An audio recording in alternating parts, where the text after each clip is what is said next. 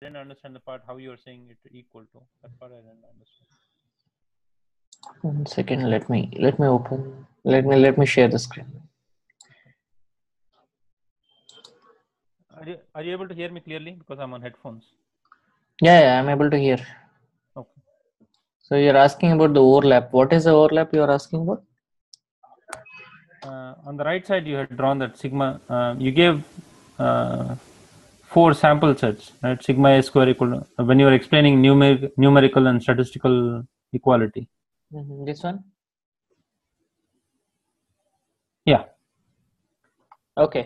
Here, uh, Abid had asked the question that in confidence interval, I understood the part where it says confidence confidence interval is for one sample, but we are not equating it to different samples.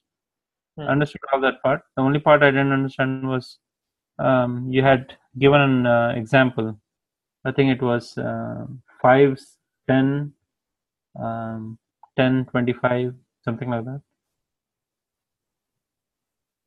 Okay. So you're asking about numerical and statistical equality, right? So let's say there is see, any population parameter can only be estimated. That part you got right. That is very Yeah. So any any population parameter we can estimate. While estimating, there could be some some set of values that it could take because we don't know what it is. So with some confidence we will say okay this sigma a sigma square a can be between maybe 5 to 10 this is one assumption. This is not based on some assumptions we we got we we got that the confidence interval can be between this And when you say sigma square, uh, a square, and 5 and 10, we are, uh, we are referring to one sigma, correct? this is one sigma yes Okay. this is another sigma whose confidence interval could be maybe 7 to 15 or something and sigma square c i don't know what numbers i gave but i'm just giving some other numbers it was uh, maybe maybe 2 to 10, 10 and 25, I think. oh 10 and 25 I give? okay Yeah. anything should be fine but as long as so okay and uh, i don't know what i gave here Uh, 2 and 2 and 8, 8 something. Yeah. Something like that. I don't remember. See, what, what I was saying is, all your confidence interval will work on this con- uh, indirectly. They will work on this confidence interval interval as well. Okay, so how it is indirectly working? Because what is zcalc? Zcalc equal to. I'm talking about zcalc, but uh, it could be anything. Maybe you can you can talk about all these as uh, mu a, mu b, mu c, something like that.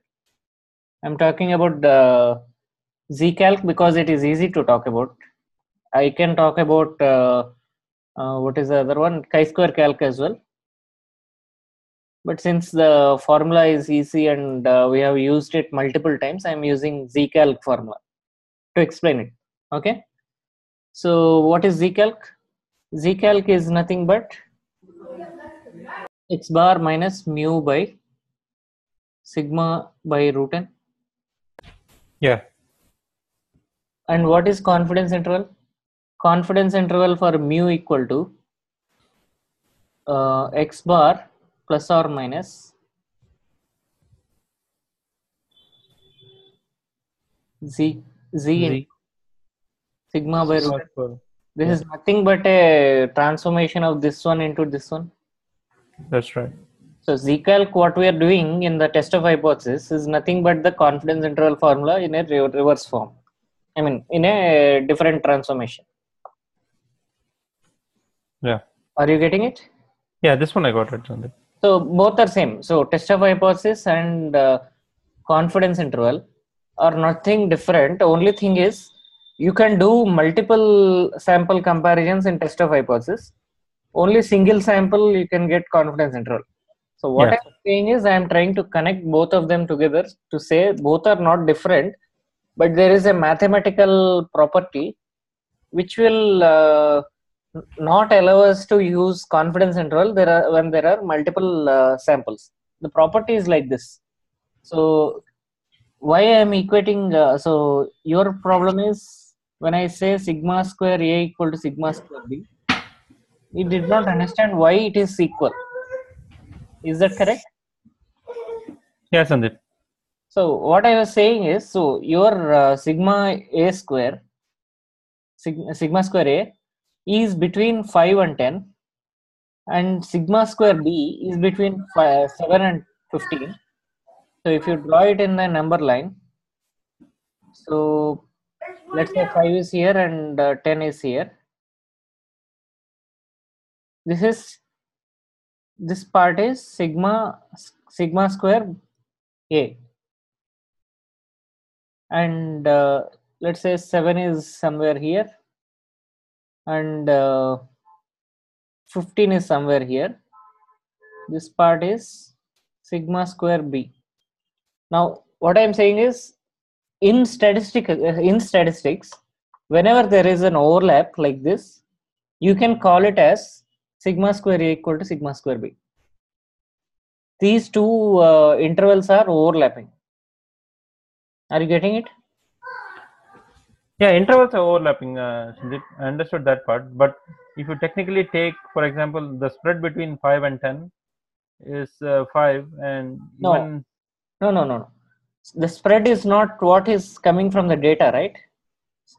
What is spread? Spread, spread or dispersion? Dis- dispersion. oh, yeah, it is- will come from the data. dispersion should come from the data, but these are not coming from the data. These are coming from your calculations. Yeah, yeah. So that's why you should not take the spread of this again calculated value of calculated. No, that's not what you should do. uh, do. But in Okay. statistics, what I am saying is, if your sigma square A and sigma square B are having overlapping intervals, if you do a test of hypothesis, those will be equal. That's what I was saying at that time. Oh, okay. Okay. Instead, of, instead of confidence interval, if the same thing if you do for uh, test of hypothesis, you'll get the same result. The result is uh, h naught if, if if h naught is uh, sigma square a by sigma uh, sigma square a equal to sigma square b, then that's what you will accept. If this is the h naught, you will accept this. Based on these, I can even say about this. But the question is, can I do something like this? If sigma square a equal to sigma square b and sigma square b equal to sigma square c, can I do sigma square? So this is another h naught. This is one test of hypothesis. This is another uh, test of hypothesis. Can I infer something from it? Can I infer like sigma square a equal to sigma square c? Can I do something like this? This is what I said no. The reason being the third interval could be somewhere here. Now this is overlapping. That's why you said these are equal. This is overlapping. These are equal. But these are not overlapping. Okay, okay. Are you getting it? Yeah, I, now I get it, Sandeep. Okay. That's what I was telling yesterday. Any other questions before we start the session? No, now I'm okay. Okay. And R and everything you're okay, right? Yeah, I, I have to practice Sandeep. Um, Yeah. I watched most of it. I, I have to watch only 20 minutes of uh, the second part of R. Everything else I watched. Okay. Okay, then cool. Yeah. Where are we in ANOVA? So, um, Zahir, are you able to solve this? Not solve, but did you do this uh, for multiple times? Yeah, you asked to do five times, right? Yeah. Yeah, I did that. That is almost like your grammar. Yeah. You don't know the grammar, you don't know the subject. Okay, where is my data set? Data set. Fertilizer. Okay, let me recap what I did uh, so that we'll get the flow. So what I did is uh, there is a fertilizer effect. So whenever you uh, so there are uh, four different fertilizers and we are applying uh, that fertilizer to different parts of the same farm so here the background conditions are same and we are randomizing it as well so these are the two fundamental prin- principles that you should follow i'll discuss about that now but uh, what you should do is uh, you should take an average of each of the fertilizer effect and that will become your uh, actual fertilizer effect without any deviations. The idea is like this. So if you have a bolt manufacturing company bolt manufacturing let's say the 3 mm is something that we should target from the manufacturing unit. But uh, every time you don't get exactly 3 you might get sometimes 3.01 3.02 2.98 2.99 there could be different differences in the manufacturing. But the idea is on average you'll get the same bolt which is 3 mm bolt. So the idea is that on average my machine is working properly but it might not work for each individual observation or each individual bolt. That is the idea. So similarly here also the idea is that the fertilizer uh, may not have its effect exactly the same every year. But on average whatever is the average uh, value uh, that i got for each fertilizer that's going to be on average it's going to be closer to the global mean. Or uh, it is going to be the exact fertilizer effect. So every year there could be some or the other uh, disturbances. For example the first year you use the fertilizer but there is a more um, there is a lot of rain so you got two. The second year again you use the same fertilizer but there could be some other di- disturbance like uh, the, it is more sunny or the uh, whatever what do you call uh, it could be also there are a lot of pest problem in the second year. There could be 100 dif- different reasons why it could be more or less. But on average if you take out all the other disturbances on average it's going to be the only the fertilizer effect the pure fertilizer effect. This is what is the uh, assumption that we are going about in this case. The similar way we are doing for each of the fertilizer. Then the other thing is uh, we are also taking the grand mean. This is more like uh, since you don't know the what is the real output of the farm so if you take all the average of all the different fertilizer effects all of these if you take all all, all of this it's going to be without any fertilizer effect what is the output you, are going to get in the grand mean okay? So that's what i did. Yeah. I have one question on the grand mean. When you say uh, across the four sub farms, you're Mhm. saying I'm uh, going to take a grand mean, which is going to nullify the effect of fertilizer, right? Um, but the the most common denominator is the least performing fertilizer, right? You still have the fertilizer effect inside the grand mean, correct? you will have that is see uh, whatever you calculate here everything is going to have error because we don't know the what is the true effect can you ever estimate what is the true um, effect of the farm without any fertilizers you cannot estimate only it. only if I have a baseline or something. but how do you get it how many years do you need Yeah. you, you don't know if 10 years is sufficient or uh, 100 years is sufficient nothing you know right And I don't even know if the fertilizer is working or not. yes correct? that is so that's why see these are all x bars these are not mu's this is an x bar this Yeah. is an x bar all these are x bars we don't know mu, mu at all in any of these cases all these are uh, sample averages right Yeah, yeah. Grand mean is also sample average. This is also sample average. This is also sample average. Everything will have some errors. Yeah. Okay. So I'm going to talk about it now. So all of these, even even in the grand mean, I'm going to take out the error. Okay. Okay, theoretically. Practically, we are not going to because practically we don't know what is the error, right? That's true. We will never know. That is for sure. Even uh, only with theory, I am going to explain why I am going to do like that. But practically, we, we can never assume, uh, assume that if uh, 0.6 is uh, so if only if you know what is the mu grand mean mu if you know grand mean uh, mu only then let's say this is 3 only then i can subtract it out and then say this minus this is my error right but uh, how do i know this one i will never know true. Okay. Okay. Got it. all these are population parameters that is the problem Yeah.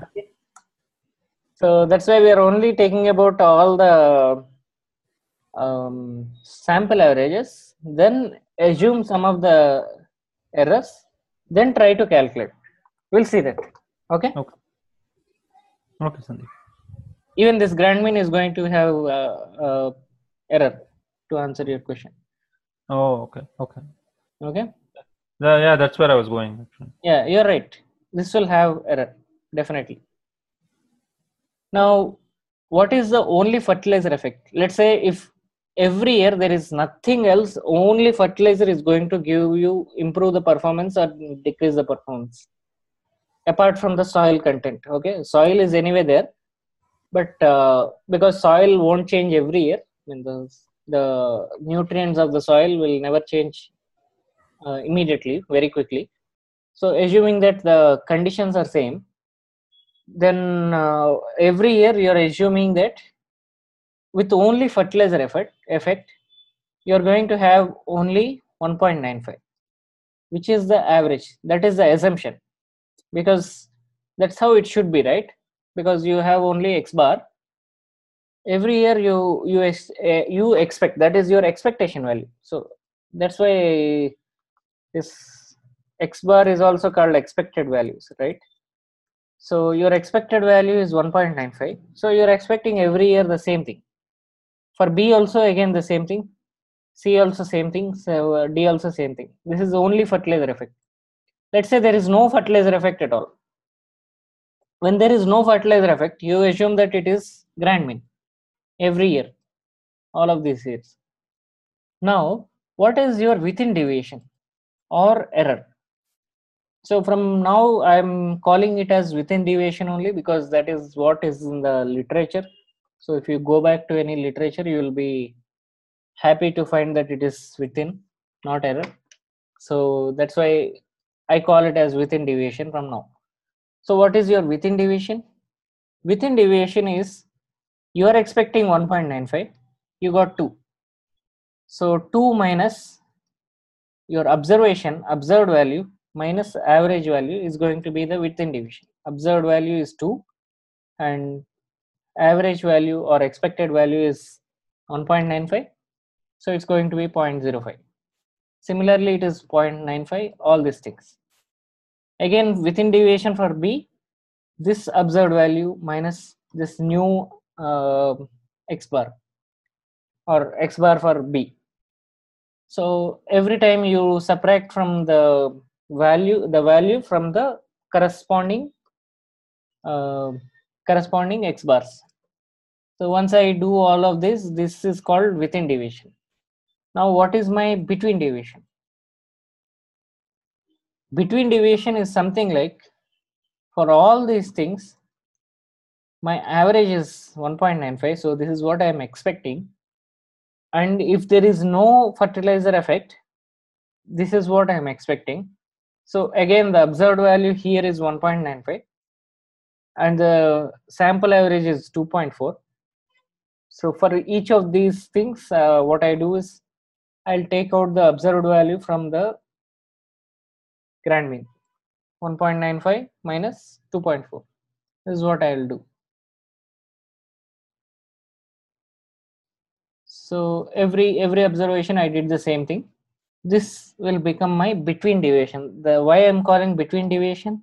The between deviation is between the fertilizer effect and no fertilizer effect. So that's why it is between. Okay. Now that's what I was doing yesterday. So coming to today's session, so let's say we are doing any bolt manufacturing and let's say there is a 3 mm bolt that i wanted to manufacture. It could be any of these that's what i explained now. So it could be either little bit more or little bit less or sometimes it may be exactly 3 we don't know. Sometimes it could be also.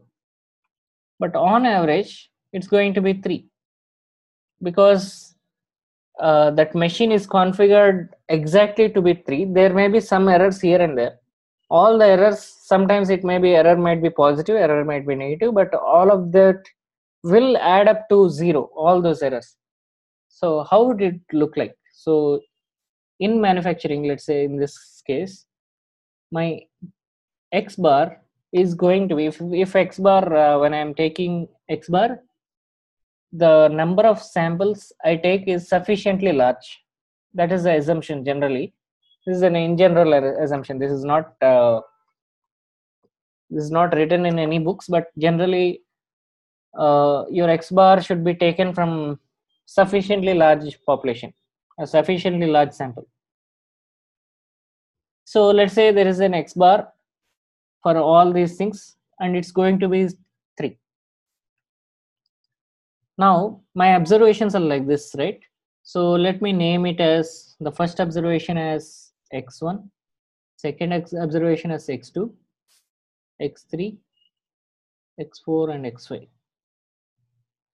now how did i get x bar? X bar is nothing but x1 plus x2 plus x5 by 5 5 observation.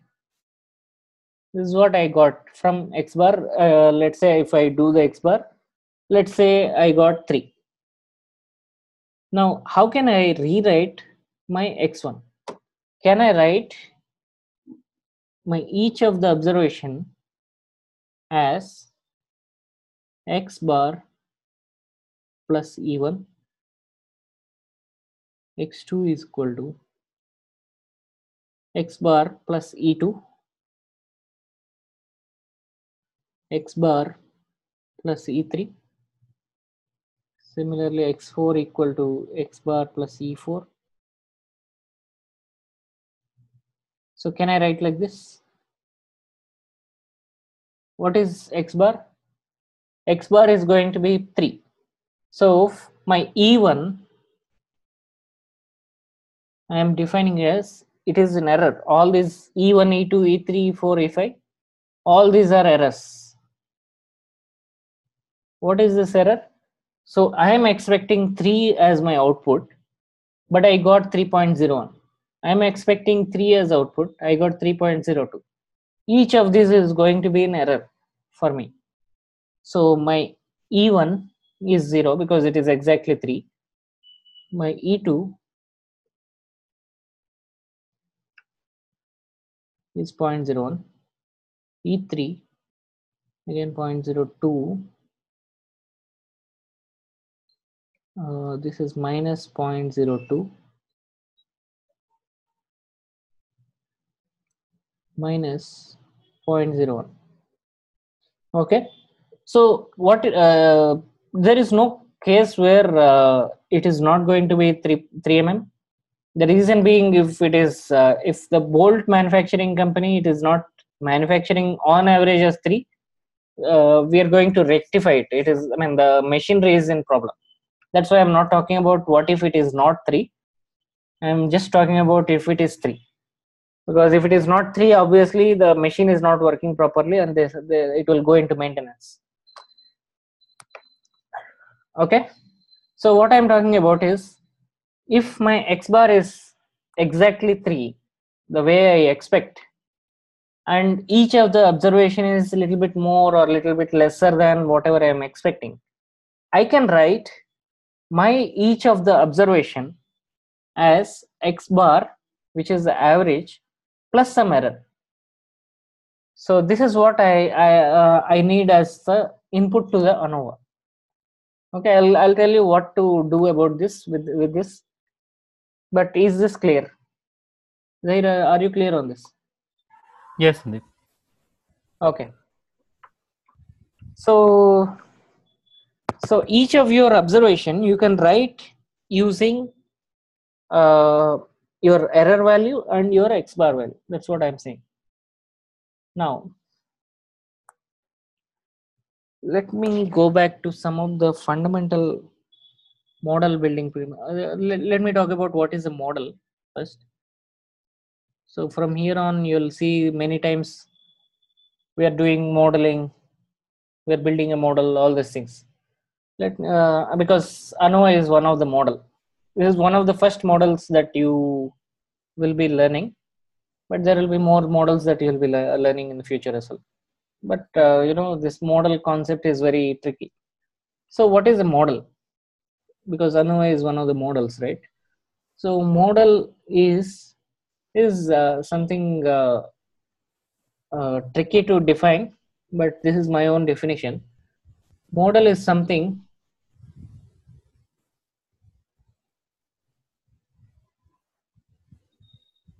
that captures the real world behavior.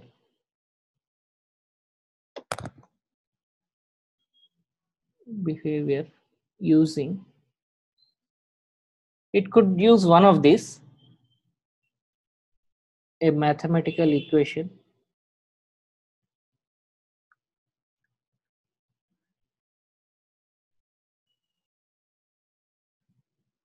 the another thing is an algorithm.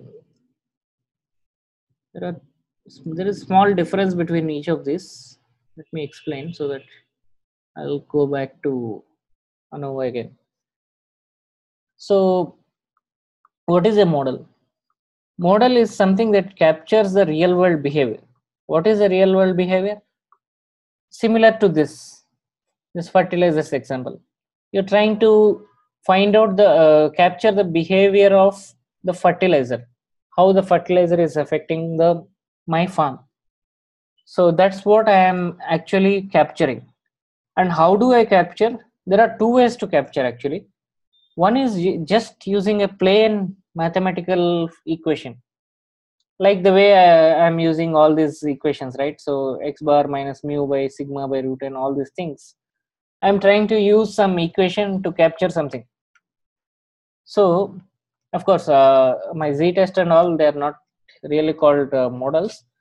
But what i'm saying is you can use some formula to find out some of the mathematical properties and capture everything in that mathematical equation as well. So this will happen only in mathematics it is called okay one second. Let me refresh. In mathematical terms when you can create a mathematical equation out of some behavior it's called closed form solution. So not all the problems in the world can can have clo- closed form solution. Only whenever you have it's called closed form solution. So you may not have always this kind of closed form solution. Okay that's what i wanted to say. So Sandeep, uh, when you have a mathematical equation, it's called closed form Yes. solution. That's what you're trying to say. Okay. yes whenever you can create a mathematical equation or a formula so whenever you can do that it's called closed form solution but many times you may not even get a closed form solution at all because maybe uh, we don't understand mathematics very well or uh, mathematics is not well developed or something like that so in those cases there is no closed form solution so whenever there is no closed form solution you develop some logic sequence of steps. You do this you do this you do this and then find out something. But in any way in that scenario you cannot have a single single equation. So in a way it is like each step is a equation kind of thing. So when there is no closed form solution you use something called an algorithm is something like a mathematical uh, sorry pro- programming constructs. So whenever you don't have any closed form solution what you use is you try to do the same thing in a sequence of steps and then find out what is the answer. That's it. You cannot have a single equation to solve everything. Is that fine? These are the only two ways that you you're going to use in the entire data science either you have a single equation to solve the entire problem or you don't have a single equation but you have a sequence of steps an algorithm. You write a program and solve it. Okay? But in Right. any in any case the the only aspect in this is you are trying to capture the real time behavior the real world behavior. Once you capture it then you can understand the, the behavior and then give some inferences saying okay le- let's say zahir is going to office every morning 8.30 around 8.30 uh, first of all i need to collect the data. Then i need to model it. When i say model i capture your real time behavior using some mathematical equation or an algorithm. Then i'll try to predict when you will come tomorrow. Okay the first the first thing i need to do is capture the real time behavior. Only then i can find out what you're going to do tomorrow. Is that fine zahir? Uh, got it, because we'll be using this model terminology again and again. Moreover this is my terminology. Don't think of it think of it as a definition. It is more like an, uh, my own definition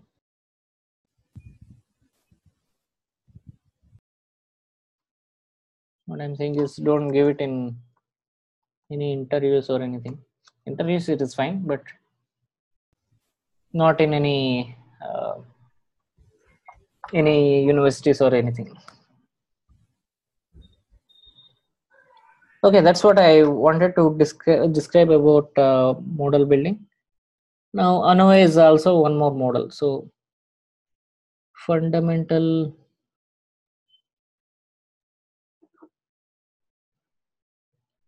principles of ANOVA i'm just describing this most of it is already covered for us so ANOVA is built on some fundamental principles so these are uh, necessary to establish an ANOVA model. So what are those? Randomization. This I will talk about now. Two, background noise control. This I have told many times, uh, but I will explain again.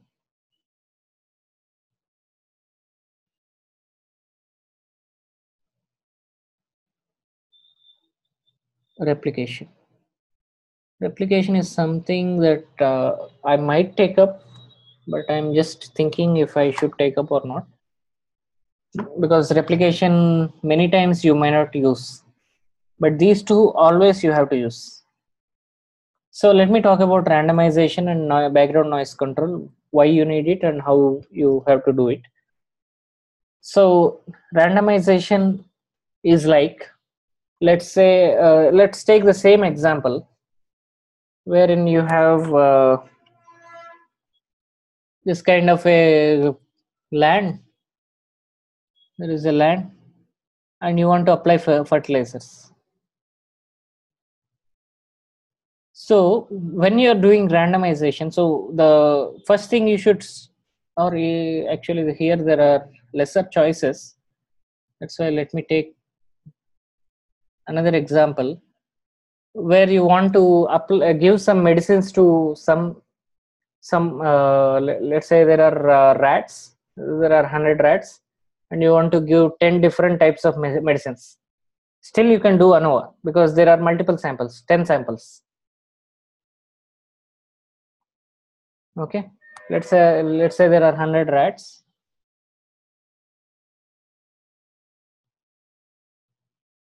Hundred rats, and each uh, there are like ten medicines, ten different medicines for some some particular uh, uh, virus. So what you do, you separate uh, distribute these these into ten rat ten groups. Each of ten rats. Then you give the medicines. So there are ten groups, each of ten rats. So the first group you will give first medicine, second group you will give second medicine, third group again third medicine. So likewise, you give you you'll give all the ten medicines and then analyze using ANOVA. That's what you do. Generally, that's what uh, medical practitioners uh, use. Like I said uh, earlier, also ANOVA is directly used in medical uh, this pharmacy and medical sciences. So each of the group they give medicines and now uh, they try to analyze using ANOVA. Now, how do they do? How do they distribute these uh, into 10 groups? So one way is you number each of the rat 1 to 100 and just give 1 to 10 to medicine 1, 2 to uh, 11 to 20 for another another medicine. So like likewise you give all the medicines. But the problem there is there is a ordering within uh, not ordering but it is more like there is an inherent uh, problem with that the problem is like let's say i i got the rats from some uh, breeding capacity and i got uh, the rats 1 to 10 from the same uh, breed and same genes or whatever the genetic the genetics of each of these 1 to 10 rats are same you don't know because while you brought it uh, when you brought, it you don't know what it is but inherently whoever uh, sold you might give you uh, 1 to 10 of the same rate. Now, if you give the medicine 1 for 1 to 10, because they are having an inherent uh, properties, similar properties, what you are going to get is this 1 to 10 rats are going to behave the same way uh, uh, same way the like uh, other rats are working uh, other rats are taking the medicine. But if you give this medicine medicine to some other breed then only you are going to see the deviations much more. So within each group you try to get uh, each rat of different properties. If you get the same properties then you are not doing the testing well. So that's what is randomization. Randomization is something like you take so let's say you put uh, uh, some chits in a box and let's say one one two three each chit, chit is having uh, a number. You take up you, you take out let's say you have two two different chits like that one to 100 here and one to 100 here. You take out one chit here one chit from here. Let's say this is reading uh, 5 and let's say this is reading uh, as uh, 9 what you do is you give rat 5 medicine of 9 so this is what you do. You have 100 chits here 100 chits here. Uh, each chit is uh, each each in each chit there is 1 to 10 only and here also there is 1 to 10 only.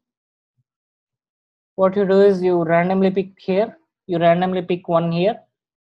Let's say you're having 5 and 10 you can say this rat has to be assigned fifth group and uh, given ninth medicine something like that.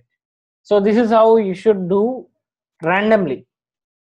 Randomly pick some number assign each of the rat some uh, medicine and continue. So that is how you should do because there may be internal uh, i mean inherent uh, deviations or in inherent similarities between each of the rat. You should randomize as much as possible to get best results. If you don't do it you may not get the best result. That's the problem. Is that fine uh, zahir uh, yes sandeep sandeep uh, pertaining to the medical field how would you know uh, i mean i'm assuming you'll have some advanced knowledge of where the rats are coming from, right? Genetic composition or whatnot, right? You, Most of the times you don't. You may not. You, you don't know, right? Yeah. You, so in that case, because uh, you're more interested in uh, applying the medicine giving the medicine to the rat not where it uh, where it came from how is it behaving let's assume if it is not rat and if it is humans. Let's say i take 10 indians 10 chinese 10 10 uh,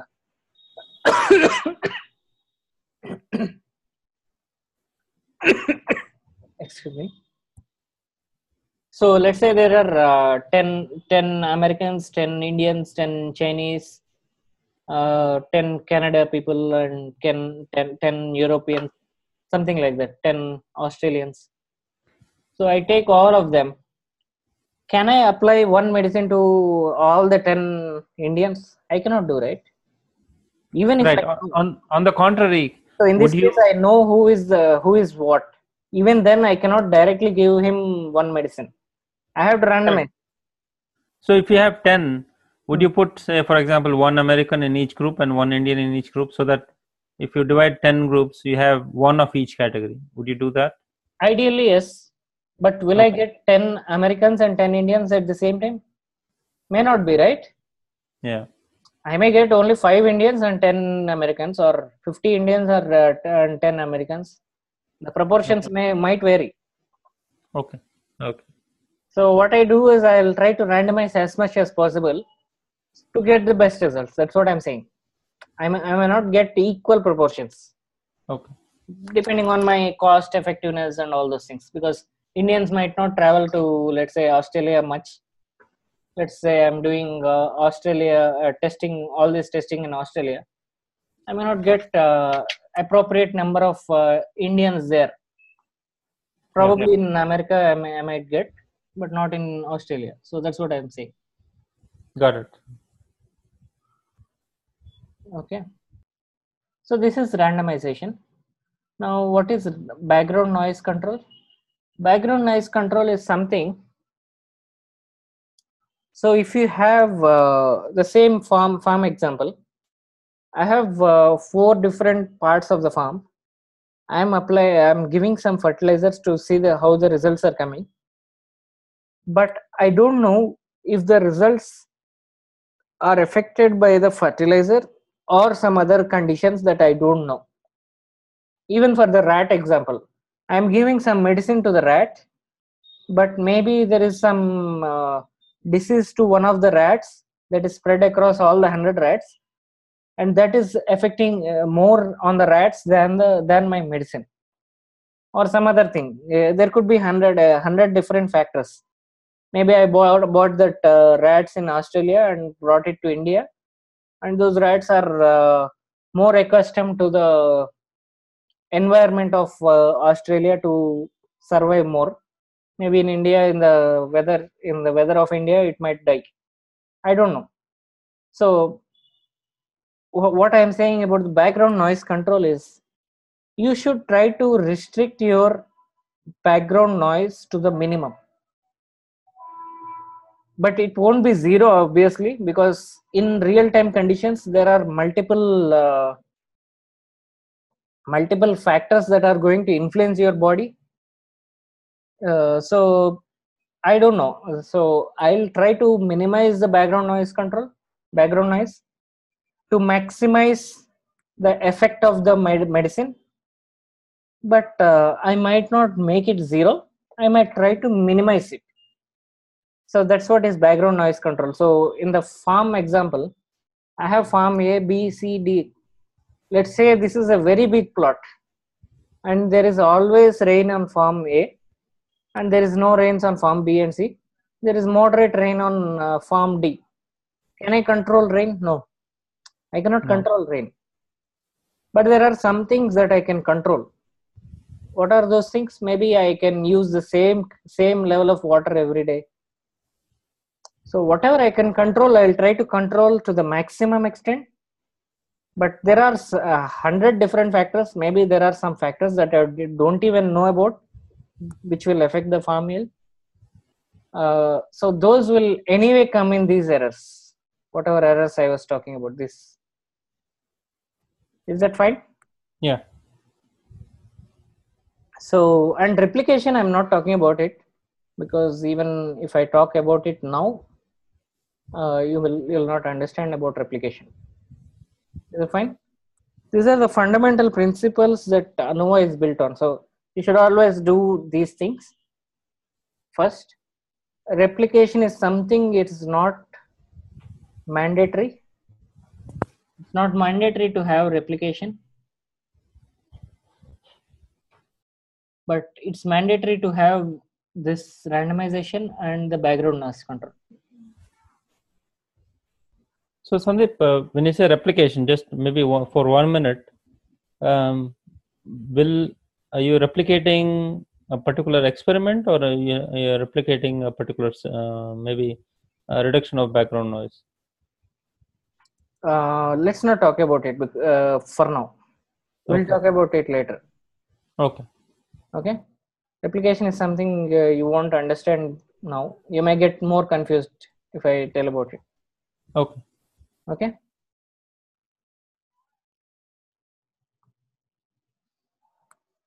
So, what uh, what am I doing? So, what am I doing here? So until now, I took some experiment. I am doing some experiment, and in that experiment, there are multiple different ways I can do experiment. I separate it into groups. Each group I am taking an average. So let's say there are groups A, B, C, and D. And each group I am taking an average, which is XA bar, XB bar, XC bar, and XD bar. And for all the samples, whatever I got, regardless of the group, I took another average, which is X bar bar. Now I took some deviations and uh, I mean the errors and all. So how did I do? X A minus XA bar. This I called it as within deviation. And I also took X minus X bar bar, which is each observation minus the grand mean.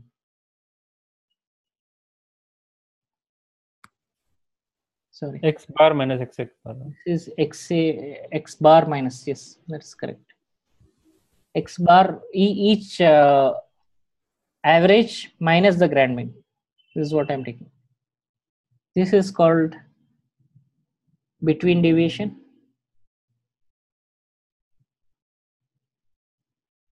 this is what i took until now so now uh, let me talk about uh, By the way, Zahir, do you remember the ANOVA assumptions? That is one of the important thing. Uh, assumptions. You said four. One is summation of um, uh, within deviation is zero. Um, sigma square is uh, equivalent. Um, third is um, So let me talk about it. Expected value of error is equal to zero. yeah Variance of errors is going to be sigma square. yeah I'm writing in mathematical notation right now, everything. Uh, the other one is uh, errors are normal, in which case I can write instead of epsilon, I can write E actually.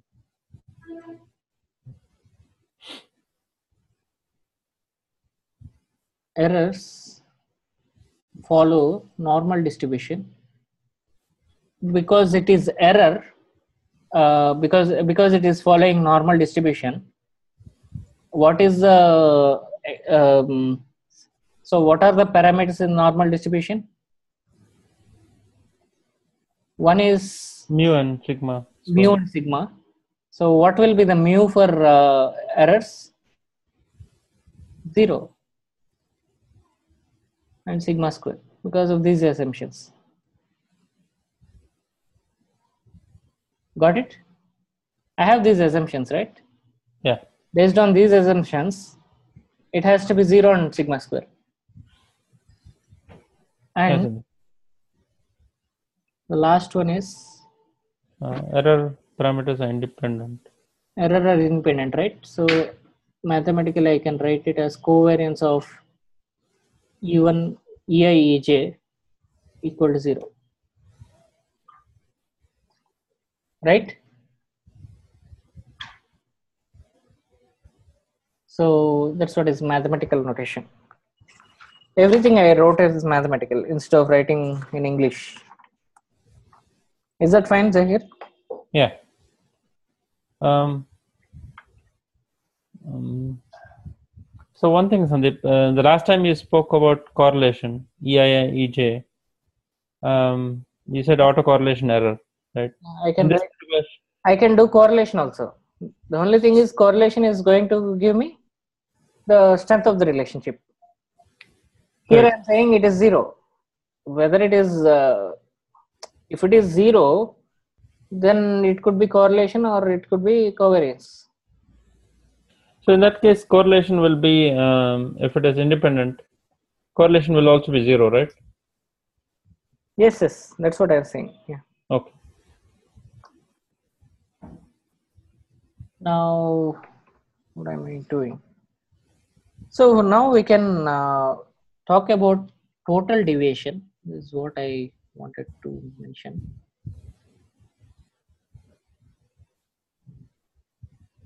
What is the total deviation in the entire system? When I say system, this entire uh, experiment, what is the total deviation? Total deviation, can I write? It is same as within deviation plus between deviation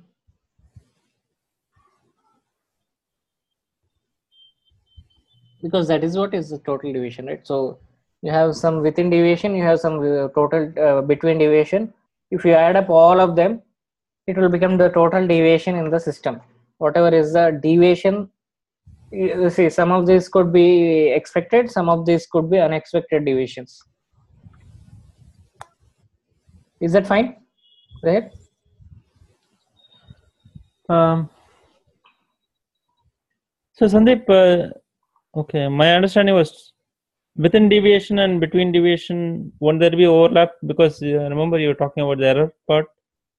yes there will be but uh, that's what we can estimate right our estimate is uh, our best estimate about total deviation is this one only Okay, okay, uh, we cannot go below this because uh, we don't know we don't know how to separate that uh, error part okay. So, so this will be like the upper limit, uh, correct? yes Okay. that's true so uh, yeah let me talk about now what i'm doing is so i have this um where is my i have this formula right? I'm rewriting this formula into something else. Uh, let's see what it will do to us. Okay. okay. So what i'm doing uh, i have x1 so or or let's say xk which is kth point kth data point. I am using mu uh, sorry x bar plus epsilon or x bar plus e as my formula right? This is my error. This is my average. I have some average value and plus some error value will become the kth data point. This will be ek. Kth error plus x bar is going to be my kth data point. What I am re- rewriting here is x bar plus uh, what should I write? Let me think about it actually. This is something tricky actually.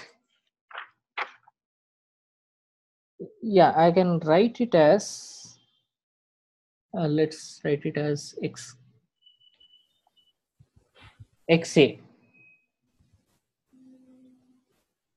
Mm, yeah, what I can write it as is in terms of uh, x bar bar I am writing x bar bar plus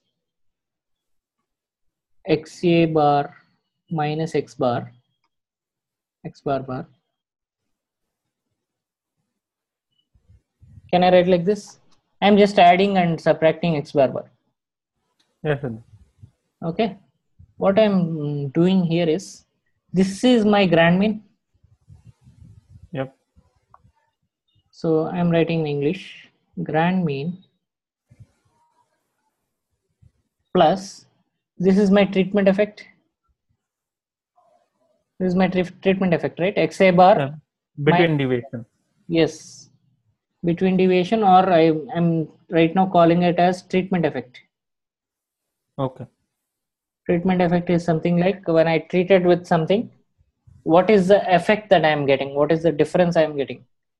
So that is my treatment effect plus some unknown error. I don't know why it happened this is the within deviation between deviation within deviation grand mean. Is that fine zahir?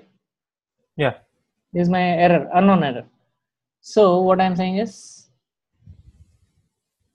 this entire thing is known deviation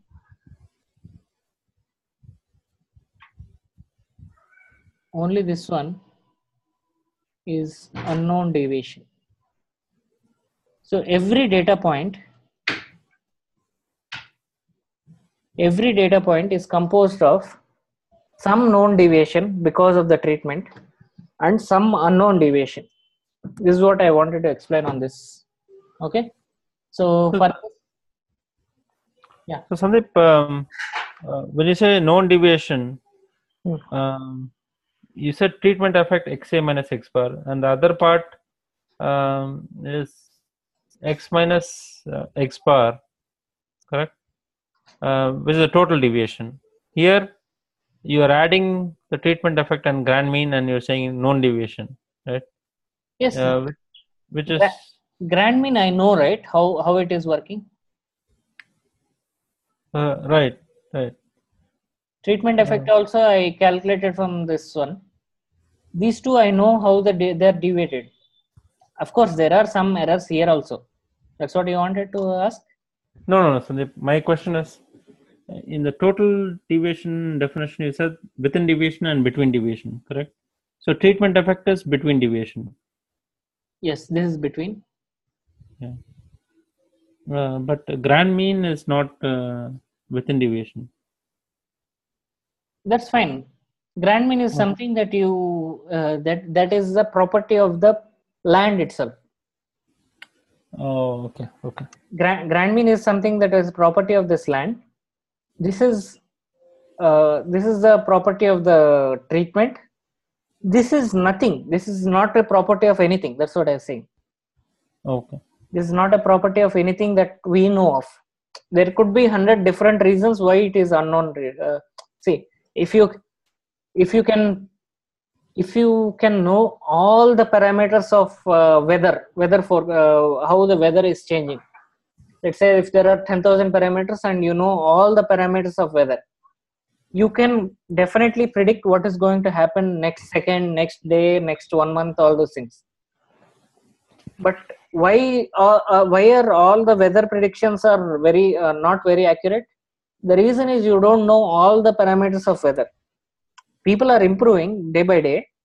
Maybe definitely uh, weather predictions are better 10 years back. Sorry uh, better than 10 years back what it is 10 years back. Because they are keeping on adding the parameters and reducing this unknown error. Got it, Sandeep. okay? But right now we don't know what it is. What are the properties of it all those things we don't know now what i'm saying is this xk i'm writing it as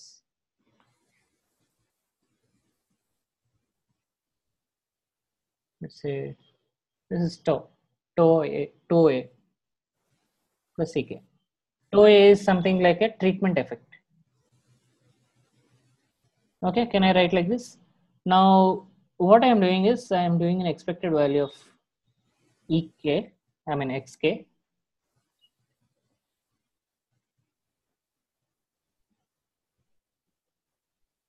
or let's not do it i think you'll get unnecessarily confused let's not do it uh, here Do you want the derivation and all those things?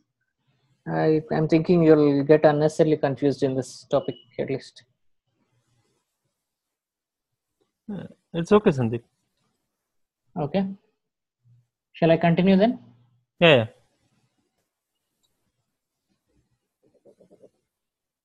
Sorry.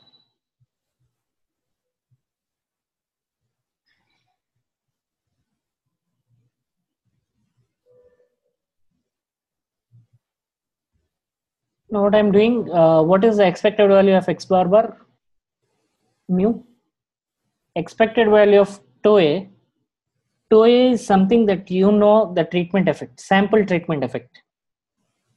But uh, if you know exactly what is the population parameter, tau star a. Something, uh, I'm just trying to make the difference between tau a and tau star a. The population and sample. Now, what is the expected value of EK? According to our assumptions, expected value of EK Zero, right? is zero exactly.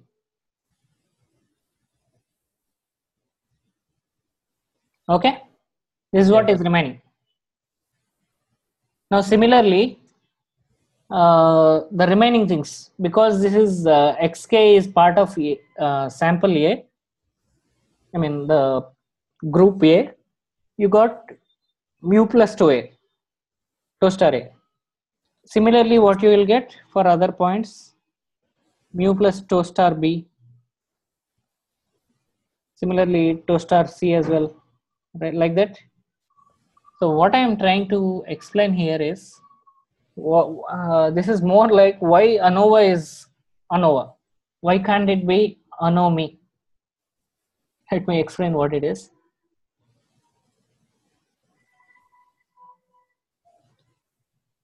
Analysis of means. Of course there is nothing like this. Okay and don't get confused there is something like let me write it. Nothing like this. So that you don't get confused. Analysis of variance.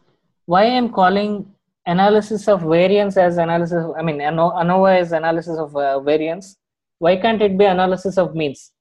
Why why is this problem? The problem is because you started comparing all your means and then you are saying analysis of variance. How can you compare means with uh, and, and say that it is analysis of variance? This is my question.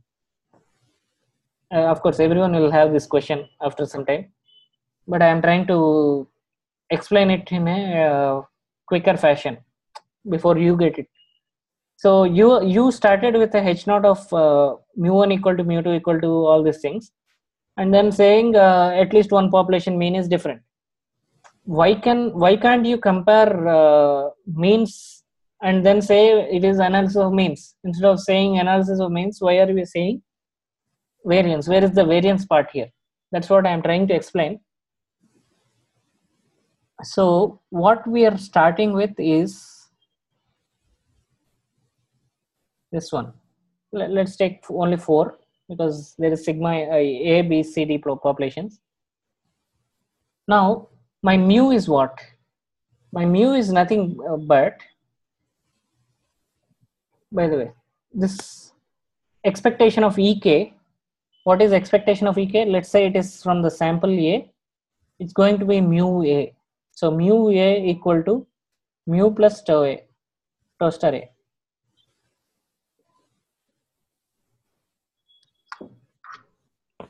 So the the expected value of a sample set Hmm. uh, is equal to expected uh, Population. Mean, population mu yes yes plus the treatment effect yes exactly of the pop of the population. It's not the population though. right? See, expected value of one sa- one particular group Yeah. expected value of this group is nothing but expected value of the total uh, total sample which is the entire thing all of these 16 variables this expected value of this grand mean actually Yeah. plus some treatment effect Okay. this is actually called additive model What model? Additive. additive whatever i am talking about is the additive model okay so what i'm saying this all these means are equal. That's what i'm doing right? So instead of doing all this mu1 mu2 uh, before confusing you let me write mu a equal to mu b. This is what i am comparing right? Now what is mu a? Mu plus tau a? Mu plus tau b? Mu plus tau c mu plus tau d. This is what i'm comparing. I just derived right? Yeah. same thing. Mu a equal to mu plus tau, tau star. I can write star. This is what i'm doing. Now what i am doing i'm removing all these things because this is a constant across all the comparisons. I can remove it. True.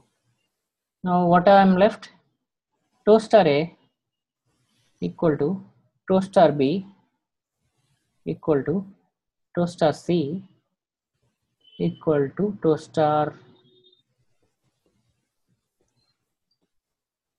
d. Okay? Now what is tau star a? So all these tau stars are x a bar tau star a let's say x bar minus x bar bar. X bar a minus x bar bar. What i am doing here is simply one second.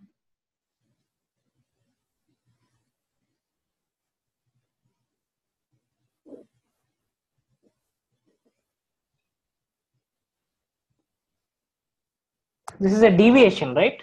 If i square it what will happen? Oh, it'll become variance. it will become variance so that's what i'm trying to say you start with comparing uh, means by analyzing the variance if variance are equal then mu's are equal Can you repeat it again? The last part. to to do the comparison of means what you start with is you start with analysis of variance. You try to analyze the variance. If the variance are same then you can infer that means are same. Oh, okay. Okay. based on all our assumptions. You, our assumptions are very important because see in even here i assume that ef uh, expected value of uh, ek is zero. How i am getting? I am getting from the assumptions only. If if some of the assumptions are wrong this assumption is wrong comparing variance is not comparing means then in that case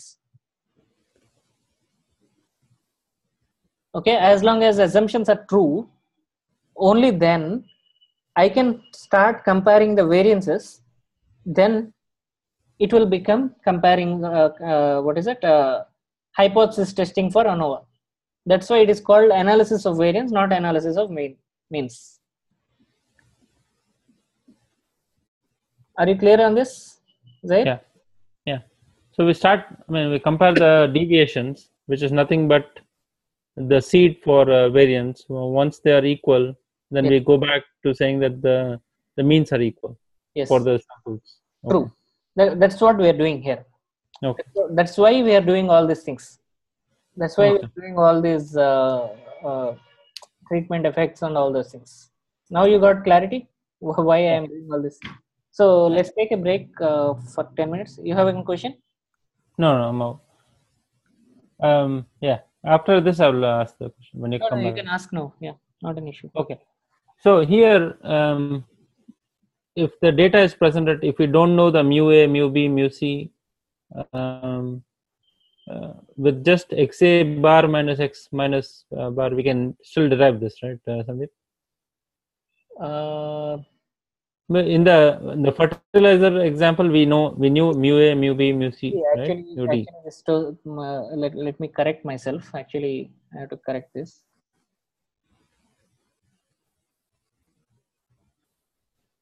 This is tau star A, which is population one, right? Yeah. which is mu a minus mu. It's not x bar a minus x bar bar. That is wrong.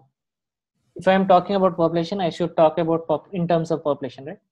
Now you cannot do that, right? Whatever you are saying. Oh.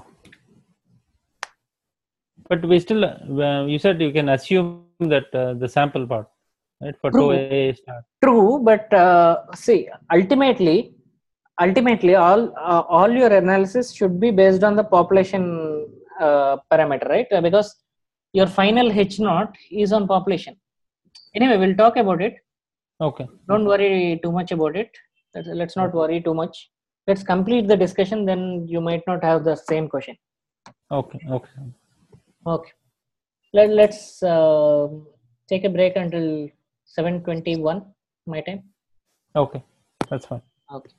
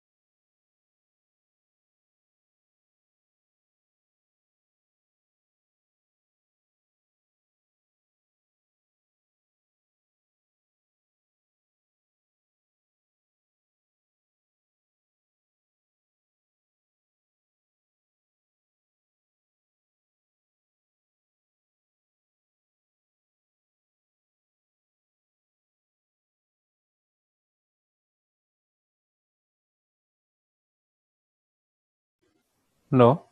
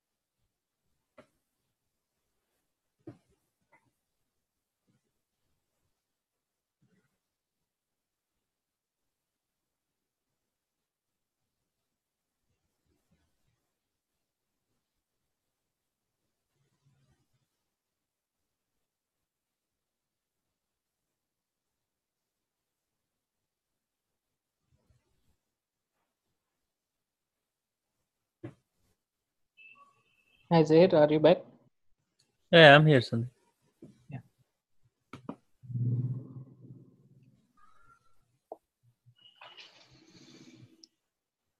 So what I was telling is uh, you can compare variances and then make out inferences on uh, means. Okay, by comparing variances, you can do analysis. Uh, you can uh, you can uh, have influences on means. So that's why the name analysis of mean uh, variance. So this you will not have. Okay. So let's do complete the analysis. So we have um, we have total deviation. And what I was saying is this is the sum of within plus between. Now within is what? Within is x minus x minus x bar. So what I'm doing, so sigma, so when I do, this is within deviation, right? So when I compute a sum of all the within deviations, it's going to be zero. So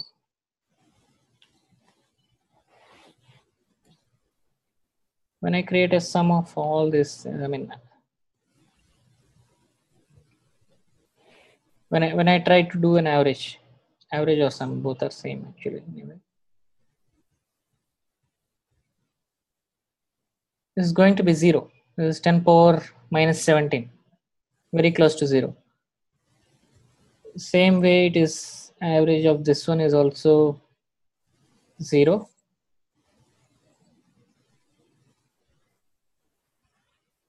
Zero and zero. So all my averages are going to be zero. This is similar to the case where uh, initially I talked about the standard deviation and all those things. So anytime whenever you encounter sigma x minus x bar, it's always going to be zero. So to offset that, we can do the same thing that we did earlier. We can do a sum of the squares and then find out the within deviation. So what I was saying is we can do instead of sigma x minus x bar by n, we can do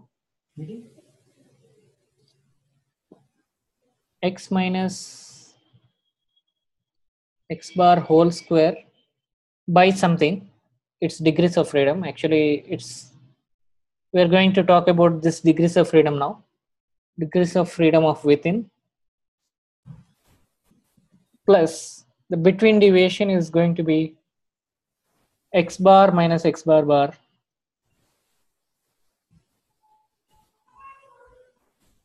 degrees of freedom between. Now the total deviation is going to be x minus x bar bar.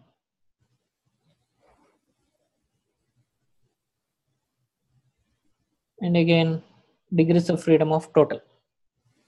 So this is what it is going to be uh, for uh, ANOVA. So when whenever we want to find out the deviations, there is total deviation, within deviation, and uh, between deviation. Within and between are additive, and they'll add up to total deviation. And what is total deviation? Total deviation is the deviation between the each of the data point with the with its grand mean. Is that fine, Zahir? Yeah, Sandeep. So, Sandeep, um, um, so degrees of freedom within is also going to be same, and degrees of freedom between uh, might be smaller number, correct? So it's going to be two different. Uh, Yes, that's why I, I did not mention n minus one or n minus two or something. Okay, okay, That's why I was just writing degrees of freedom. I'm going to do the degrees of freedom, but this formula is fine, right? yeah, yeah. This formula is fine. So now, what is on the the left just one more question sandeep so on the left you are saying each sample minus the grand mean is my total deviation um Hmm. Yes. uh, yes. so that These are additive. If you see, x minus x bar is this one.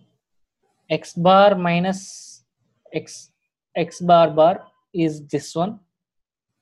I'm canceling this total deviation Oh. from this. got it sandeep Okay, these are additive. Yeah. Additive when you're not squaring. It's not additive after squaring. yeah yeah got it Okay. Now, what is the degrees of freedom total? Because this is the easiest one. I started with that. That'll Now- be the the total number of samples in the uh, for the grand mean N is my samples minus 1. N minus C, right? What is Uh, degrees right. of freedom? N minus C. What is C? There is only one condition which is sigma x minus x bar bar equal to 0. This is the only condition that I have for total deviation. So n minus 1 and n is the total number of points. There is only one condition that you have that is n minus 1. Fine? so n, n will be the the total samples right sandeep n will be the total number of samples. Yes. Okay. Which is 16 here. all of this. Okay. okay Now, what is degrees of freedom for, let's take between? the only part i didn't understand is uh, Hmm. you're saying summation of x minus x bar is also going to be zero X bar bar. x bar bar is also going to be zero Yes, absolutely. You want to try?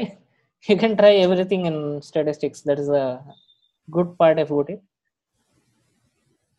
You want x minus x bar, right? yeah x minus x bar bar right X bar bar is this one. Yeah. Uh, anyway i have okay le- let's do total deviation also. Total deviation which is this part minus this part. I'm keeping a dollar because it is a constant.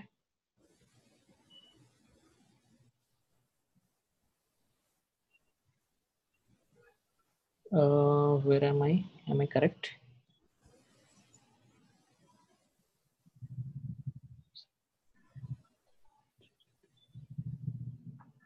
think it is correct. Yeah.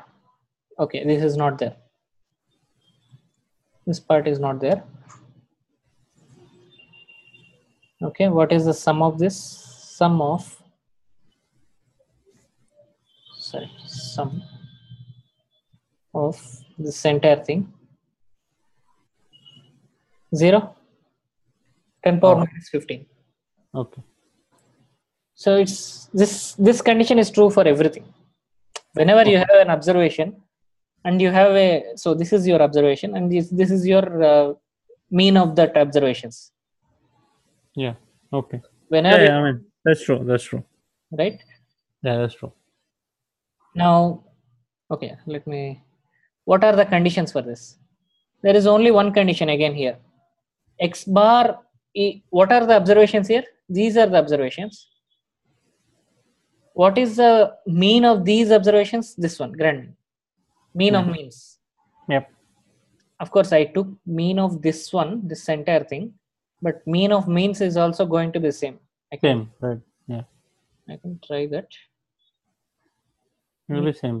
mean of means will also be same okay Yeah. so that's why i have a data point which is x bar and i have a average which is uh, x bar bar that will be zero but how many such means will be there? Which is number of groups that i have. Right? If i have four groups i'll have only four x bars. So let's call it as p. So p is the number of groups. P minus 1 is going to be the number of degrees of freedom for between. Okay now degrees of freedom within i can do two ways. Uh, let's see which one works. I can do uh, one way i can do is because this is, these are additive right? Degrees of freedom are going to be additive actually. So degrees of freedom of total variance is equal to degrees of freedom of within plus degrees of freedom of between. Now if I, if I want degrees of freedom of within, what I can do is degrees of freedom total minus degrees of freedom between, which is equal to degrees of freedom total is n minus 1 minus n minus p. It's going to be n minus p. Okay, this is one way I can derive it. Another way also I can try, uh, I can tell you. Is that fine? This one is fine? Yeah, yeah. Okay, let me give you another uh, intuition. So, what are the conditions here? So, it is x minus x bar. Actually, it is the conditions are you are doing from this to this x bar, right? So, the conditions are like this sigma x minus xa bar equal to 0 sigma. Uh, okay am i writing wrongly? Sorry.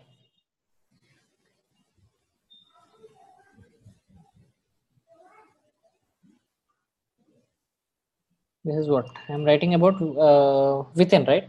Okay within is sigma xa XA minus XA bar. a minus xa bar equal to 0 sigma xb minus xb bar equal to 0 similarly xc minus xc bar equal to 0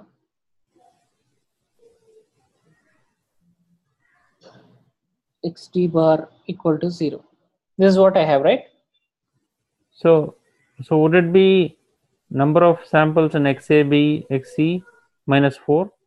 A Yes. number depending on number of samples. it's going to be na minus 1 which is number of samples in only a group minus 1 Okay. plus nb minus 1 plus nc minus 1 plus N- nd minus 1 this is how it's going to be Okay. so you have na plus nb plus nc plus nd which is equal to n and how many minus ones are there Uh, As minus four. as the- Four. as many as the samples so minus p i can write uh, sorry as many as the groups Yeah, n minus four, right? Isn't it? N minus- number of. n minus 4 i am saying uh, 4 is the number of groups Yeah. so n minus p the same thing is that fine right Uh, only P I'm trying to understand. isn't it? p p is nothing but my number of pop number of uh, uh, what is it uh, Sample number of sample sets. Sample sets sample groups. This is one group this is one group. So we have four groups. P is what i am defining as number of groups. That's what i did here also between also. Got it. Got it. okay? So that's why it is n minus p. Here also it is n minus p. So you can you can either uh, do from the additive model or from the uh, from your own logic. Anything is Yeah. okay degrees of freedom let me this is most important because uh, uh, from here you will see this kind of degrees of freedom definition from uh, n number of places especially in regression and everything. Okay? So if you understand this then i can move on to the next one. Yes, Sandeep, understood. okay now now you know why i have to do the deviations square of the deviations right because it's obvious the same uh, standard deviation story. Yeah. now what i'm doing is i'm doing is now i'm doing the standard deviation. What is the standard deviation formula? I mean standard devi- not standard deviation but uh, it is Variant. with, within variance and uh, between variance all those things. Okay? What is the within variance? This is already this is within right? So this is already sigma x so if i sum it all, all of them it's going to be sigma x minus x bar x bar uh, uh, x bar of the corresponding one right Yeah. this is already sigma x minus x bar a this is sigma x minus x, x2 minus x bar a all these things what i should do is i'm only left with square of this so what i can do is i can use in excel there is something called sum squares sum of squares Hmm. I can use this. I can square all of this. Okay, one second. I can square all of this. This I am calling as sum squares of deviation. Just I am doing sum of squares. I am not dividing by the devi- uh, degrees of freedom. Okay. Is that fine, Zahir? So show me the formula once again. Sandeep.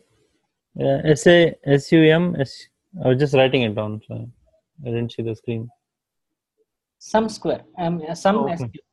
Sum SQ. So, well, when you do sum SQ, it will just take 0.05 square plus point, uh, minus 0.95 square. It will just sum it, right? True. Yeah. Okay. Okay. that i'm saying ss sorry not ss deviation ss within this is I'm, this i'm calling as ss within the next one i'm calling ss between i'm doing the same thing nothing different Yeah. okay this is ss between what is ss total Uh, here I didn't understand why you're doing all 16, Sandeep. Since the degrees of freedom is only four, right? I mean three, you should take only one row, right, Sandeep?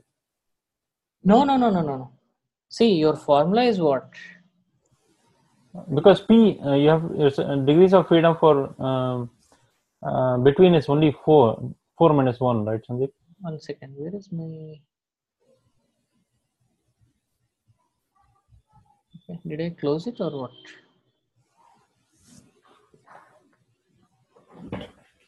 sorry what, what what are you saying No, for the between, you said degrees of freedom is number of sample minus one, right? That makes it only three. Um, but you did the sum square for all 16. yes that is a formula right? You do for everything but division is what you are considering. See you use sum of squares for everything here. Degrees of freedom is different. See uh, for example what is standard deviation or variance formula? Variance you are doing sigma forget about all this ANOVA and everything sigma x minus x bar by n minus 1 do you think you are doing only for n minus 1 points you are doing uh, sigma x minus x, one, x bar square? No. You are doing for everything but you lost one one degrees of freedom. You are only dividing by n minus 1 this will contain everything. Oh, okay. Okay. okay? Yeah, but even though the values are the same for, uh, what is Right. values of same if, you- if you go back to the Excel value, isn't it? Mhm. Right here, if you look at this one between deviation, no, within deviation is so fine. Mhm. between this one Yeah, between, see, all the values from, yeah, those are all same, right? does it doesn't matter the, uh, because for every data point you're calculating you're uh, doing it for uh, same things i mean you're making it same that is fine Oh, okay. Okay. okay now what is ss total total is something like um, again the sum of squares this one Yeah. now because this is additive model this should be uh, because i am saying within deviation plus actually i should not have written like this the additive model only works without degrees of freedom okay? This, this is what it will work for. When So you I have to divide, when you divide with uh, degrees of freedom it's not additive So should I um, scratch off the degrees of freedom from the denominator? yeah i am removing. I removed actually. Okay. okay? Sorry for that confusion. So actually the degrees of freedom are additive how is it additive let's see. Ss total is equal to ss within plus ss between. Is it additive? Exactly the same? Yeah. so this is additive but degrees of freedom is not additive. Sorry for that confusion. Okay. Now what is the degrees of freedom? Now i am calling it as when i divide it by degrees of freedom i am calling it as ms within which is mean square uh, when i'm doing it is a mean right? Squared mean. So what is the degrees of freedom for uh, within deviation? Let's let's go back. What is within deviation? N minus p? Yeah. i derived. What is n minus p? N is what? 16 Minus 4. minus 12. 4 12 or let's say 16 minus 12 Let- let's do one thing let's say n and p let's keep as a variables. 16 and p is 4 now what is ss uh, ms within? 16 uh, this 14.6 by 16 minus 4 okay? Now what is ms between ms between is what? It is a variance for between. Okay? This is only sum of squares. Only here i am dividing by uh, degrees of freedom. Only this will become variance. This is ms one. Okay? Uh, Sandeep, why are you calling it mean square, Sandeep? mean square is because you're taking a mean right? See uh, what, what, what you is what is standard deviation? What, what is variance? Variance is sum of the squares of the deviation. yeah why we are taking uh, squares? It is because it is uh, we are trying to find out what is the average deviation from the center. The reason why we're taking degrees of freedom is different because we are losing some degrees of uh, from some freedom because of some conditions. We are taking degrees of freedom instead of uh, the actual n. See here also i can take n here also i can take p here also taken i can take n but the only reason is i am losing some freedom because of these uh, conditions implicit conditions. Is that Hmm. fine? I am ru- Yeah. losing some freedom because of these conditions. That's why i'm di- minus uh, subtracting some of these conditions. But actually the reason uh, actually it should be n. Actually it should be p. Is that fine? Yeah. so that's why i'm calling it as mean square because it is a mean. Okay. so what is ms within? It is ss within by uh, sorry between sorry. Ms between is ss between by what is between degrees of freedom? P minus 1 so same thing i do. P is this one. Minus 1 is what i have for ms between now what is ms total?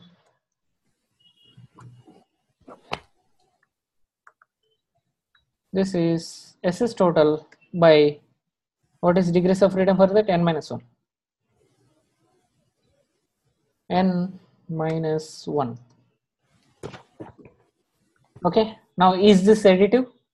Let's see. Ms additive because it is not ms total i am not defining it as ms total okay because i know for sure this plus this is not equal to this. These are different because obviously you're not using the same degrees of freedom, right? Hmm. Yeah.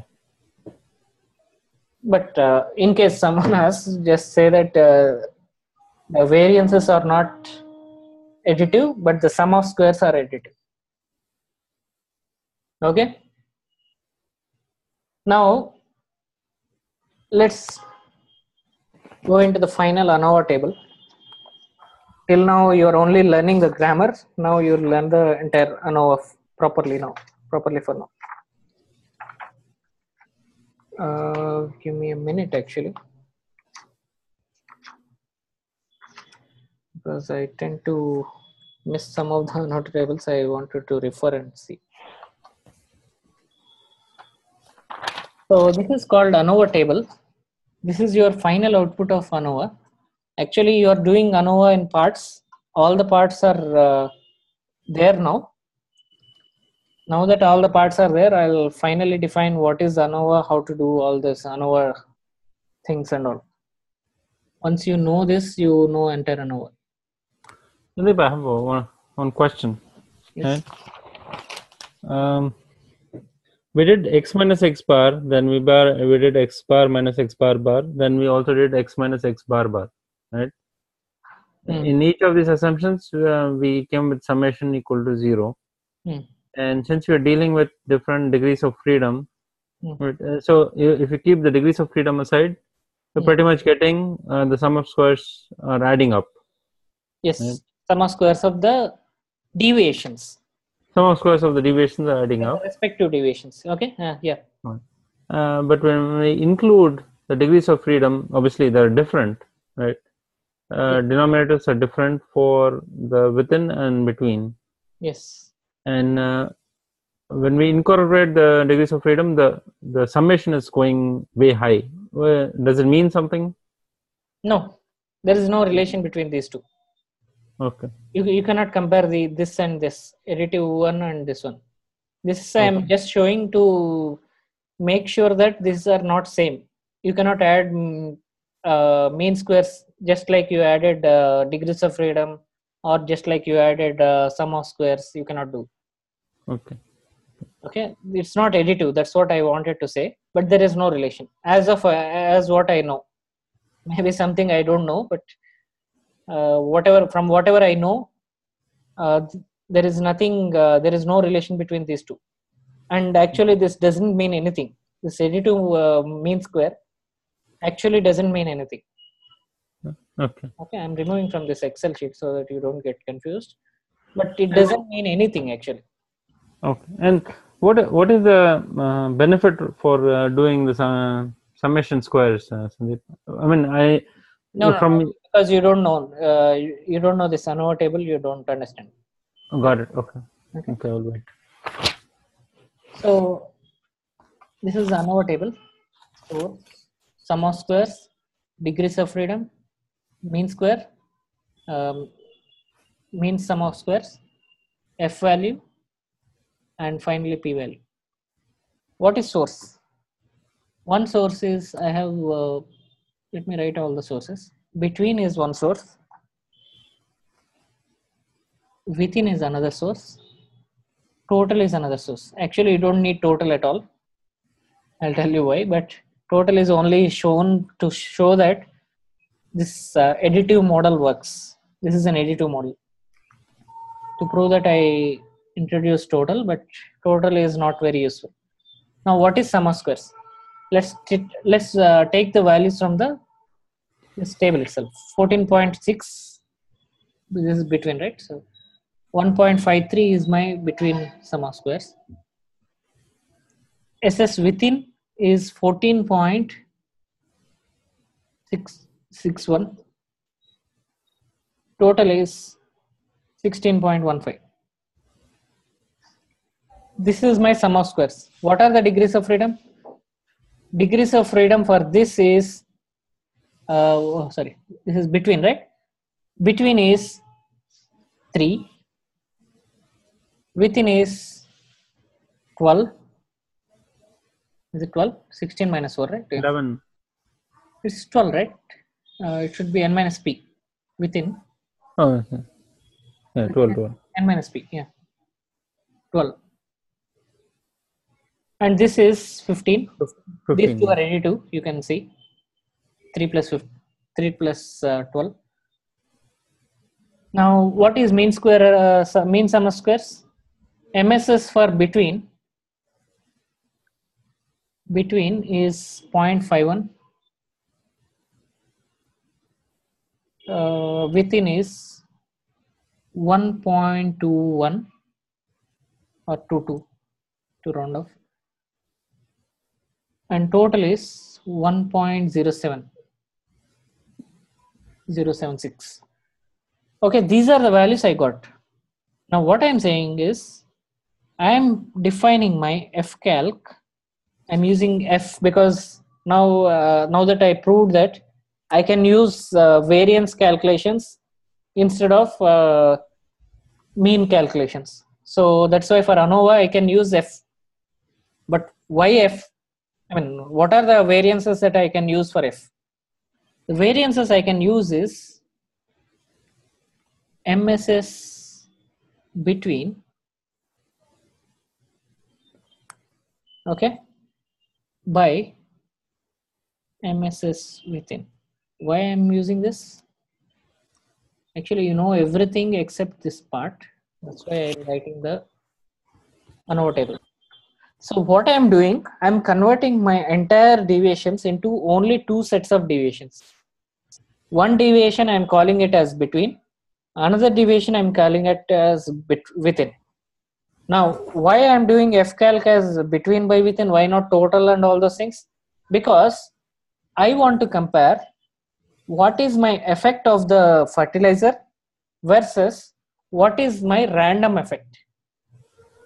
Is my random nature of the farm is influencing more than my fertilizer effect or is my fertilizer effect is more this is what i am comparing in the entire ANOVA but i did not introduce because i did not have a chance to uh, disclose all of this together because there are so many learnings that you want to have uh, that that I want you to have. That's why I did not disclose this. But this is what I am finally doing. Finally, I'm converting all of these into two different variances. One variance I'm calling it as between variance uh, variation. Another is called as within variation. Those two variances I'm comparing using fcalc this is a two sample variance test i'm comparing my i'm converting my multiple sample mean test into a multi, uh, two sample variance test is this fine is this clear? Yeah, Sandeep. So basically, um, the effect of fertilizer to effect of random noise is that what you're saying? yes. So Okay. what i'm what i'm trying to find out is is my fertilizer proper? Or there is a random noise that is coming up? See for example i am seeing 2 1 3 and 1.8 and the second one i am seeing 1.75 all these things right? So it is varying why is it varying? Is it varying just because of the random nature of the farm itself or the environment and all those things? Or is it varying because of the fertilizer? Correct. is there any random or is it uh, is it because of my experiment? So uh, technically, if uh, the better you have fcalc, the better the benefit is. exactly yes. You should have a, a bigger fcalc. Whenever you are having bigger fcalc it means that your An- An- ANOVA is performing better because your uh, between variation is performing better. Yeah. that is fine. Let, let's not talk about uh, all those things right now. But you get the idea right? Uh, the idea is you are comparing between two variances. The variance is one is random nature another is your treatment. Yeah. Is your treatment uh, working properly or not? I Yes, don't know which treatment i'm not talking about which treatment. Which treatment is a separate story. Yeah. my current story is only about is my uh, fertilizer working well or not? I mean uh, the, is there some effect of fertilizer or not? What is that effect? We'll talk later. Okay. Okay what is f now? Now that's why i said total is not needed because after you do, do everything you are calculating only f1 between by between by within. That's it. This by this. You are not talking about uh, total variance at all at all. Only thing is uh, i wanted that additive thing. So now what is your f? F calc is nothing but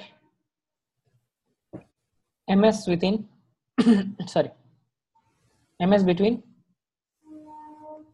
by ms within this is my f calc is that fine now with Yeah. f calc i can do a p value and then find out if is my ANOVA hypothesis correct or not is that clear Uh, um, I understood the F calc, uh, Sandeep. Hmm. Uh, why are we associating it with the p value? Of course, uh, so for every calculated uh, statistic, you'll have a p Yeah. value, right?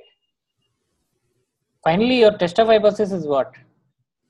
So in For the four sets. your test of hypothesis is this one. H1 is one of the mean is different. is different.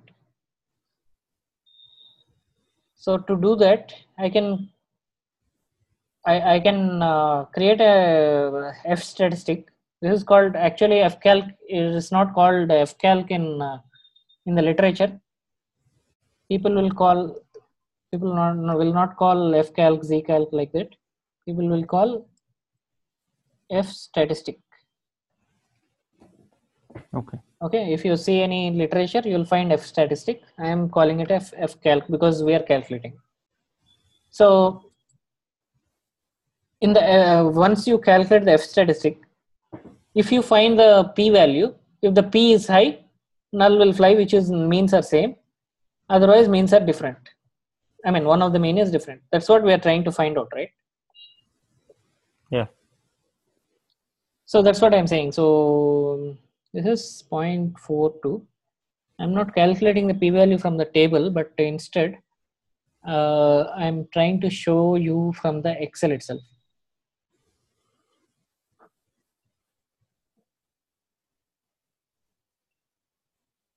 uh, where is ANOVA? ANOVA single factor? You have this? Input range is this entire thing? It didn't come. Okay grouped by columns. That is correct. Labels in the first row. Now output range. Uh, let's create another new worksheet maybe? Or uh, let's have it here. Output range let's say i'm having it here. Okay i got my all my ANOVA table the same table right? Now what i'm doing between ss let's compare. Ss between is it 1.53 Yeah. same? Okay. This one this one is same. Ss within is 14.6 14.6 ss total is uh, 16.15 same thing. Degrees of freedom 2 and th- th- 3 and uh, 12 the same thing i did here. Yeah. then uh, ms within we have uh, ms between and within the same same values. F value is same 0.42 now i'm not calculating the p value but p value uh, you can calculate right? From the tables you can calculate.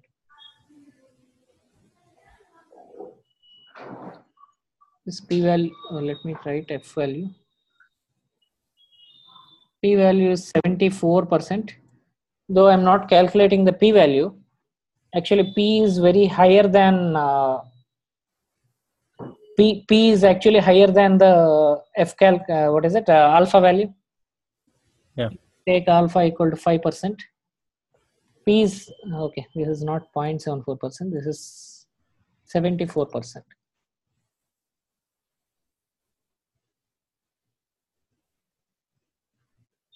Okay. Now alpha equal to 5% now p is high which implies null will fly. Yeah. null will fly means null is accepted implies accept h naught.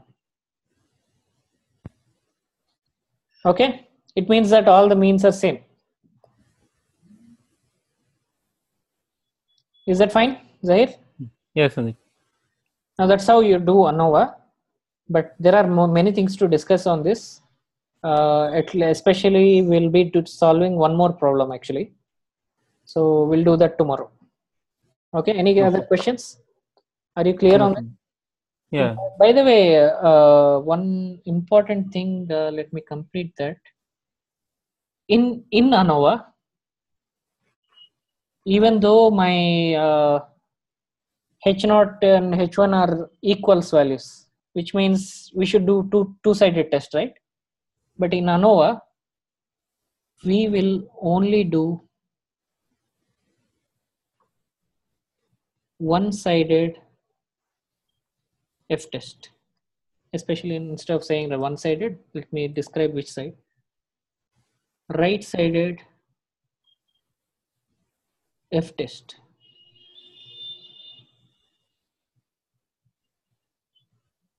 This is your f.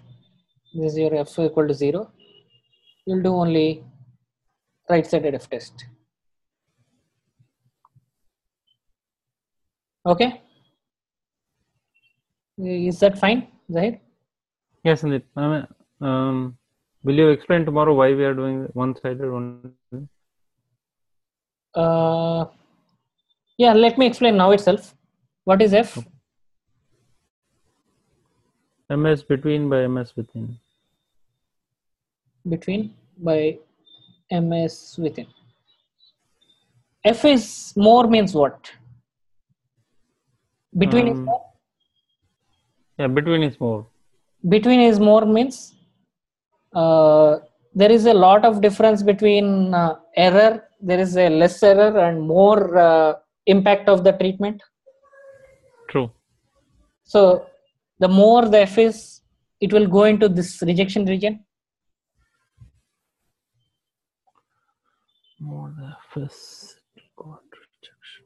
f is, f is start from, starting from zero. Right. okay. When f is more it will go into here right? It starts from here. When uh, when between is large very large and within is very less. Let's say between is 100 and uh, within is 1 the more it is the the more uh, the let's say let's let's keep uh, within as constant error as constant let's keep on increasing the with between what happens it will go more and more into this rejection region But won't it be? Uh, yeah, that part I'm not understanding. Uh, what you are not understanding. this is zero so if this is 100 it will be here let's say if this is 1000 maybe it will go in, inside if it is 10000 it will go further inside it's going further and further into rejection region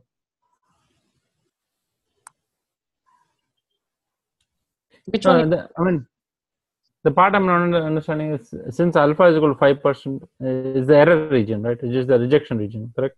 that is correct i am saying as and as and when f is increasing the f, f calc is increasing it will go further and further into the right side.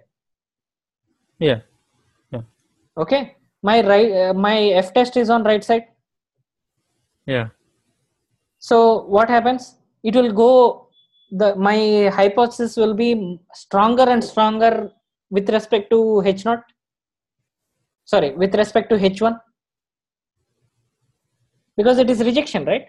This is a rejection Yeah. region it True. will go stronger and stronger in the rejection region it means that it is uh, stronger and stronger in favor of h1 alternative hypothesis Yeah. Yeah. but if I do a two-sided test, even if uh, the between is less, sometimes I might reject H naught. hmm Yeah. That is It's the problem. That is the problem. Okay. The problem is I am only interested in this has to be lot bigger than this one. I am not interested if this is small and this is equal to this. See, what is the minimum value from between for, for between? What is the minimum value that you expect for ms between? It's going to be ms within. Yeah. The most random thing that you can expect is the randomness itself. Hmm. right? There is nothing that is given by treatment. It is just a, instead of sprinkling uh, fertilizer and sprinkling water. Good. okay? Then the only thing that is left over is the uh, randomness. That's it. Nothing else i am left with. Yeah. so my f is minimum at minimum it's going to be 1 though the f f distribution is going to be starting from 0 my f calc is going to start from 1 but it's going to extend only this direction so that's why i'm only interested in this direction right side Okay. is that clear now Yeah. Okay. Yeah. Got it. so in anova only f test will be uh, will be performing as right side test no very few people know about it i mean they know that it is right sided test. Why they why it is they don't understand. Okay. i think i gave a clear picture. Yeah. Is any question still? No, I'm I'm good, Sandeep. okay. Okay then. So that's what i have today. So what i uh, uh, asked you from you is try to build this entire thing at least three times.